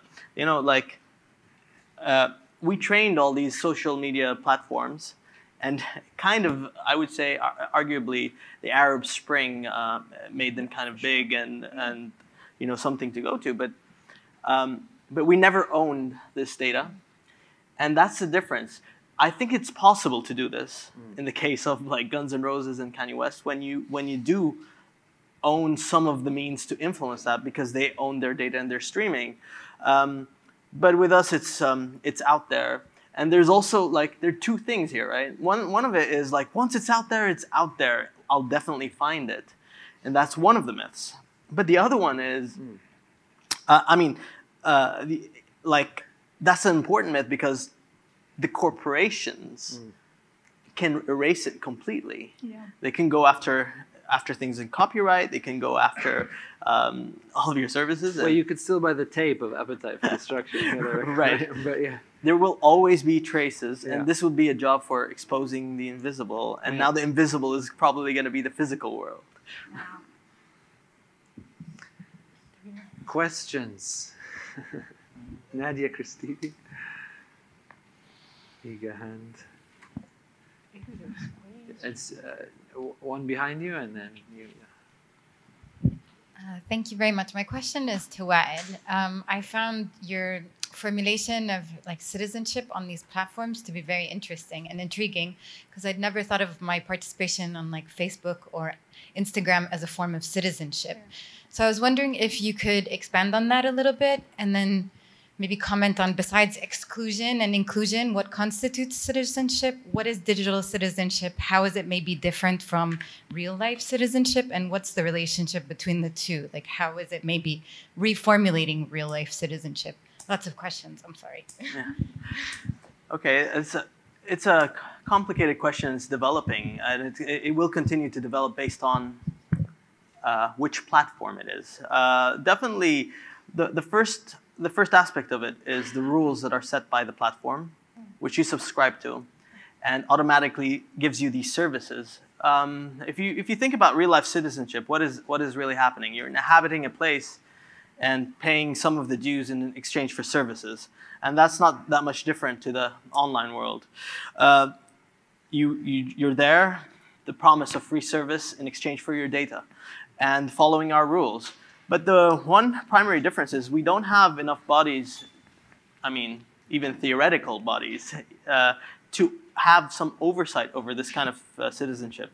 Twitter tells you, uh, I'm going to decide on the rules. Facebook says, I'm going to decide on the rules. Uh, YouTube says, this is against my rules. You have signed up to this kind of voluntary citizenship and you've paid a lot more than you have oversight. And I would say that is one of the discrepancies here that takes away power. We can say what we want about our dysfunctional democratic systems that are, you know, uh, don't really deliver justice, but at least in theory, this idea of oversight is there. This idea of empowerment through uh, some third-party judge, you know, kind of uh, arbitrating between you and and whoever. So, I would imagine they're kind of similar, but we have less rights and and the idea, and it's also really tailored to you. Like the set of rules are tailored to you, and actually your la- your language across the world. Like this was happen is with Arabic language, ha- something happens. With your nationality, something happens. So.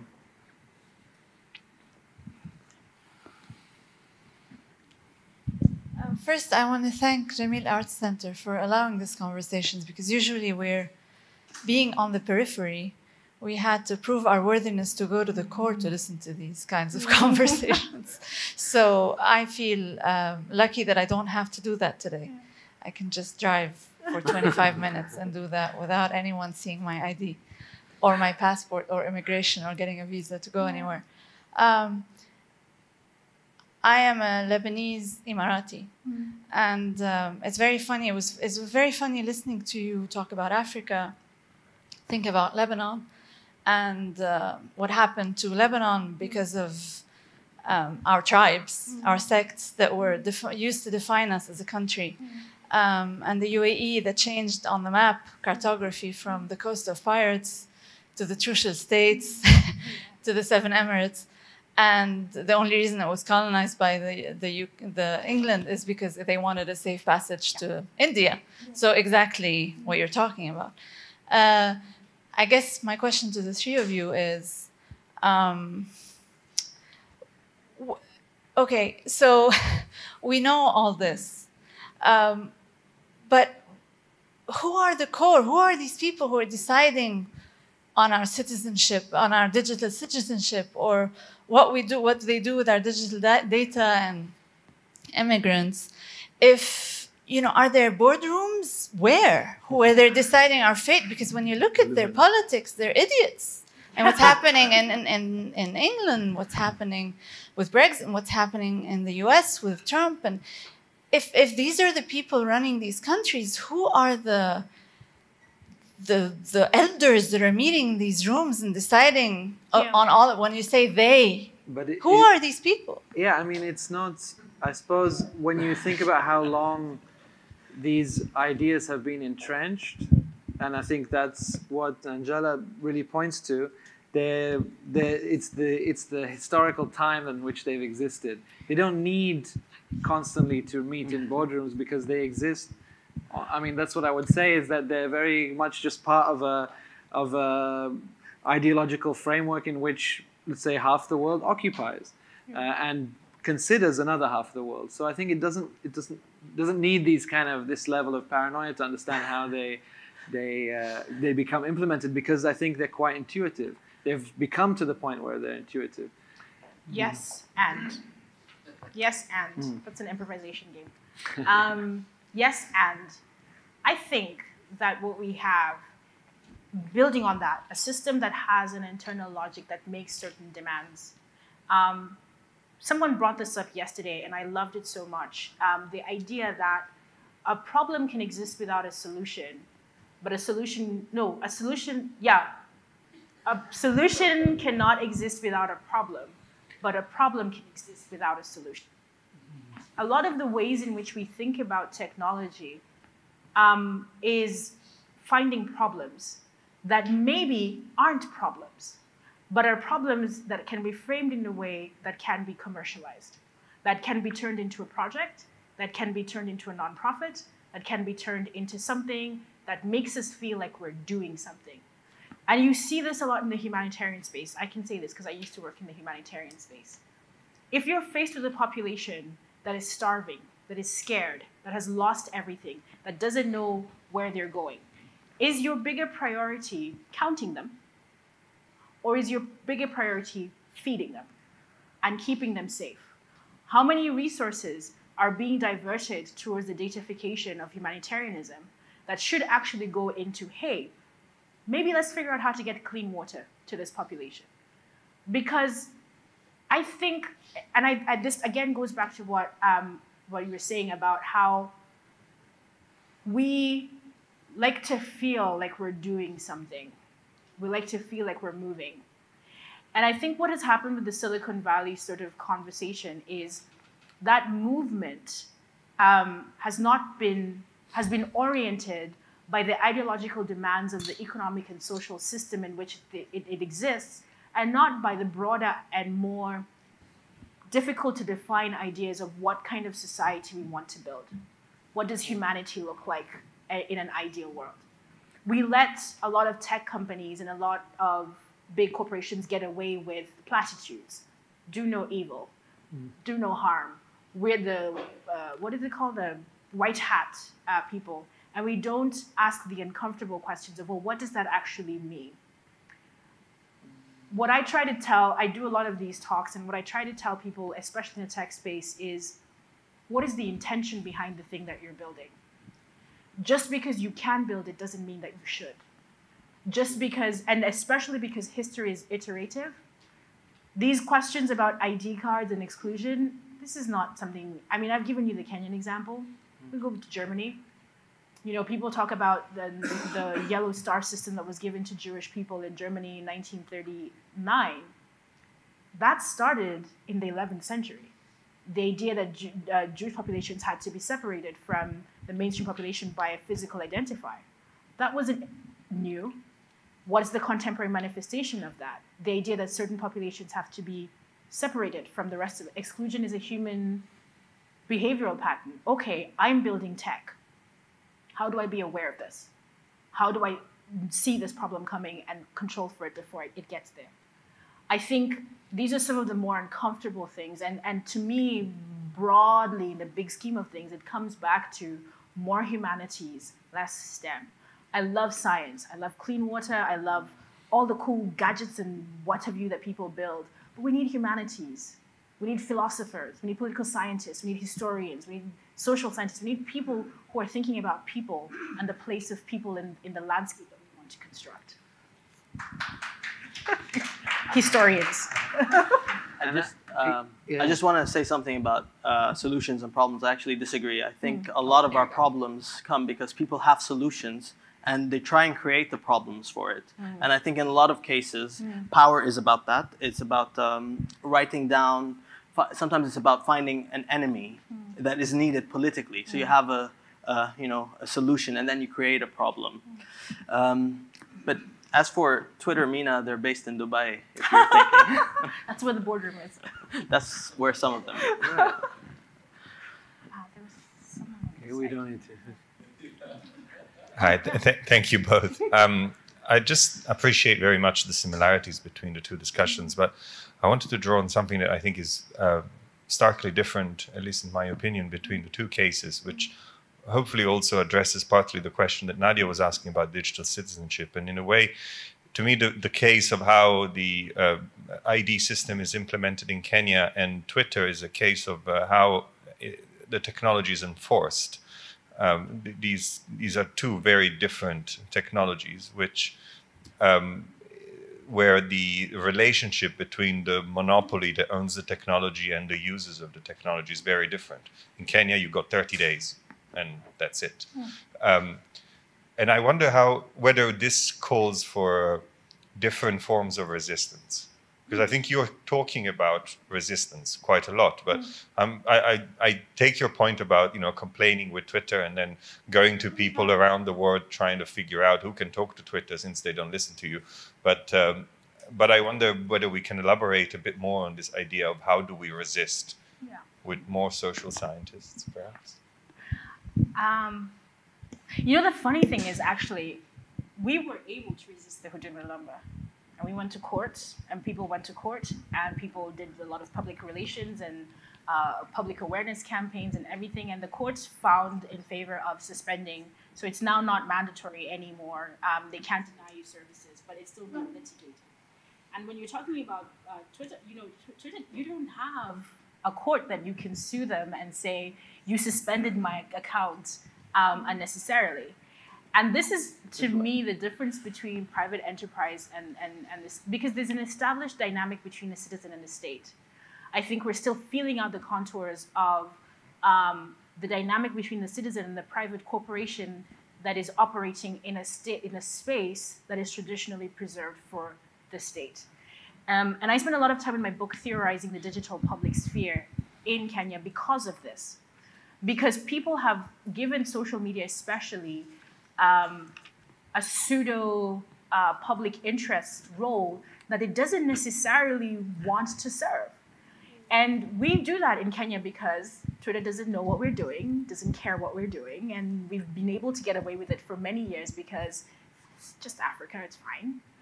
And now it's a potential market of hundreds of millions of people. And now suddenly what we're doing and we're mobilizing and organizing and the conversations we're having are slightly more important. And these questions of resistances are going to be is it, is it a mass exodus? Is it millions of people saying, because the potency comes from the fact that they are, you know, 2 billion Facebook accounts. Is the potency that we just mass delete our Facebook accounts and someone builds something new that's close to the vision that we have? Um, I will finish by saying um, one of the most striking things that happened two weeks ago Ethiopia, population 110 million, has just come out of this process of 20, 30 years of authoritarianism and has had two years of violent, um, let's say, adjustment, um, and then had a democratic transition. Prime minister won a Nobel Peace Prize last week there was a, a young activist organizer whatever you want to label him who mobilized a resistance to that the week that he won the, the week after he won the nobel peace prize ethnically incited violence. The interesting thing is facebook does most of its content moderation of ethiopia in amharic which is the official language. This incitement i haven't seen the, the, the posts in the original language was being done in oromo for which facebook does not have content moderation and 67 people died. in the same week that Mark Zuckerberg was testifying in Congress about Libra, this new currency that Facebook wants to launch. The the, the, you, uh, you've probably seen clips online of American congresswomen, especially women, go um, really giving him a hard time and really grilling him. But the thing that stood out for me sitting in my office in Nairobi was nobody asked any questions about Ethiopia. No, 67 people have just lost their lives. And there's a causal link that people can, that Ethiopian activists are establishing between the things that are being said on Facebook and the mobilization that's happening offline. And not a single person mentioned it. What does accountability look like when the company is American, registered in the United States, responsible to a US Congress, to US shareholders, operating in a space that is traditionally reserved for media and for public debate? And I don't have the answer to that, but this is to me one of those questions that we need to think about. Yeah. Resistance. Yes, that uh, is kind of uh, the most important question, isn't it? Um, how do we resist? Where we try to find out, and obviously, if we find out something that's horrifying, we try and resist. And the question here, what do I do about it? Uh, but I think the the cases that we have here is. 1984 uh, versus Brave New World. One is completely totalitarian and enforcing you uh, to sign up for the system, and the other one is out of your own volition with the promise of individual freedom and expression. And I will, um, I will say that you resist with whatever means possible at your disposal, uh, uh, you know, to fight the right thing. It's not, there's no single cure. If you think about it, um, you go back even to, I've been wanting to talk about Fanon for a bit, and uh, Fanon has been advocating for violence, uh, in, you know, in the in the past because it people were oppressed violently. But today, what we have in the digital world, it's targeted ads. Yeah. This is violent. who do, who do you fight, really? It really is picking up whatever means you're being uh, oppressed by or suppressed by. And in that case, it's about ownership of your, taking back ownership of your data, fighting for that, going through law uh, to, to courts, using whatever the, these tools are lying around. And we have to be creative because we don't have the resources. We have to be creative with what we have. So, and that's a bigger question, and not, no one answer to it. Okay, so we have time for one more question, but we have two questions. So we're going to do them back to back. Can we do that? Sure. Mm-hmm. Quick. Okay, uh, this question is addressed to Nanjala. Hi. Um, I think one of the issues that maybe is not being talked about is that we're actually resisting against the master morality, mm. which is absent in the minds and hearts of a lot of black and brown, uh, I would say, collective consciousness, mm-hmm. right? But a master morality is not a monopoly of any given tribe or race. It's a phenomenological dynamic that can be employed by self actualized individuals or collective. If we are going against also a preoccupation with racism and an effort to eliminate resentment, I think one way to do that is by adopting a ma master morality. So, my question is if you desire to create a map which represents all that is most meaningful to you and the Kenyan people, and you destroy the installed patriarchal hierarchy to do so, are you willing to replace that hierarchy with another hierarchy? And would that hierarchy be patriarchal or matriarchal in nature?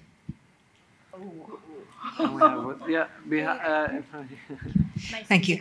My question is built on the two previous questions, and it's really just pragmatic.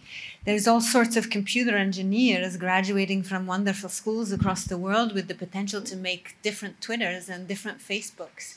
And we know that, you know, the founder of Facebook was just a college dropout, for heaven's sakes. So, from listening to you, it sounds like there's some sort of deterministic incapacity hmm. to say well we can do this differently. We can make new sites that are moral. We can make sites that allow for you know left-wing politics to try to find justice in the world. Why are we not doing this? Why are our youth not doing this? That's my question. Okay. that's a great place to end. Uh, okay. I don't, just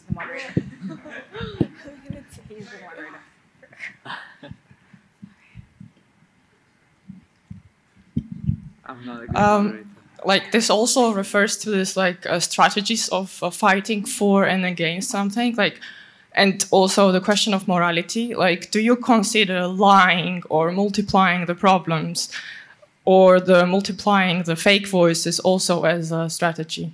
Because i know cases which i am in sympathy with and they work so i would like to hear your thoughts about that as well. Okay. Um, well i'll take those in reverse because i think yours is a little bit easier um, I think one of the big fallacies about the way in which we use digital spaces for political conversations is that the avatars that we put online are who we are. And in, for some people, it's a closer approximation of who we are, and for some people, it's completely removed. It's, it's a persona that we adopt um, for specific reasons. And I think when you think about it that way, the question of the morality of lying and manipulating information online, then you start to see why some of these things are complicated. I think if people are dependent on the information that's being generated on social media platforms, especially for their political survival, there is a little bit of an obligation to truth. There's a little bit of an obligation to ensure that the conversation that we're curating online, um, as best as possible, represents the reality offline. And I say this because we've been through two cycles of really paid for manipulation information online. And what it has done, the consequences of it, is not even just in the immediate sense that someone paid for bots to distort this specific conversation, is the dis- disconnection of people, the increased disconnection of, between people and truth, and how people process political information and how people are being socialized and conditioned to mistrust so much political information. So that even a national newspaper putting an article on Twitter gets, you guys are lying. You guys are misrepresenting the truth. Some of that is good because sometimes the, what the national newspaper is reporting reflects the interests of power, reflects the interests of the people who are at the top of the pyramid. It's good that the New York Times is asked to check its reporting of Kenya and it's, it's factu- the factuality of that. But I really worry, uh, I think underlying, for me, from a philosophical perspective, underlying all of this room that we make for misinformation, misrepresentation, even if it's a good white hat bot campaign, is what is the relationship between the citizen and truth? And what is the implication? What comes next? What comes next when so much of our political debate has been shifted onto platforms and we no longer even trust each other. I don't know if I've answered your question, but maybe we can talk about it afterwards.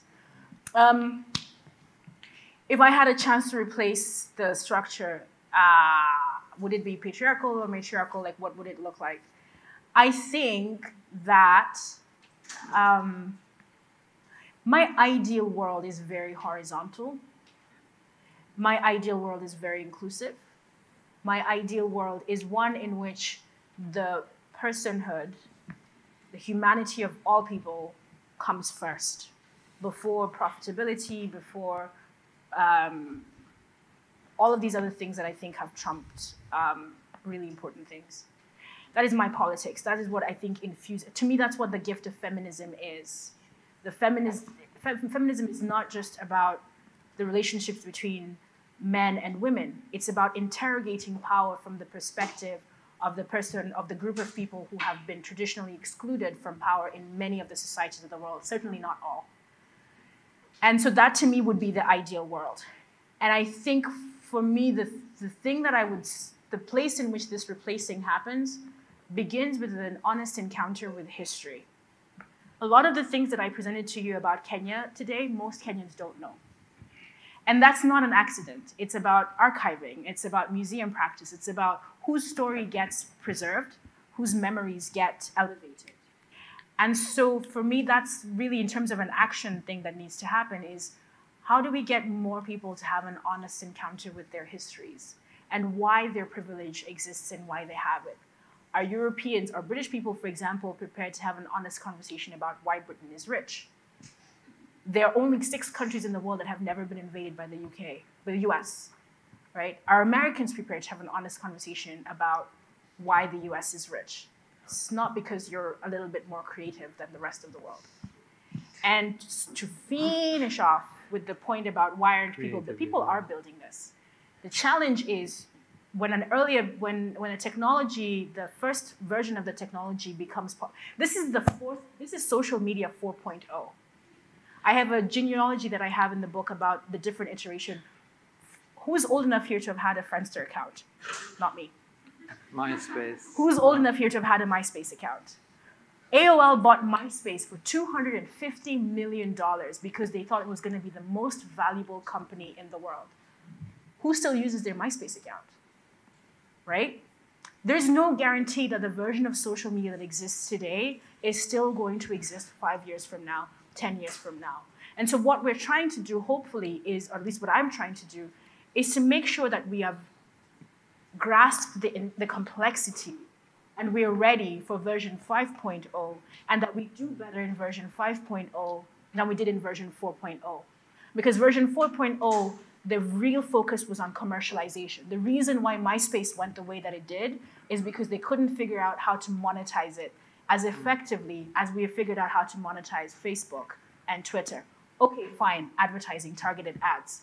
What's version 5.0 going to do differently about that? So maybe maybe in five years, LinkedIn will be the new hot thing. I'd like to I'd, I'd like Yeah, to actually yeah, answer this uh, slightly differently. Um, I think that there is no such. I mean, I made it seem that it's impossible to build uh, ethical systems through technology, and that is the reality. I don't think version 5.0 will uh, uh, will differ because it is a, it's not a, uh technological question. It's not how good people who are building it, what decisions they make. It's about the structures, and it's about a community.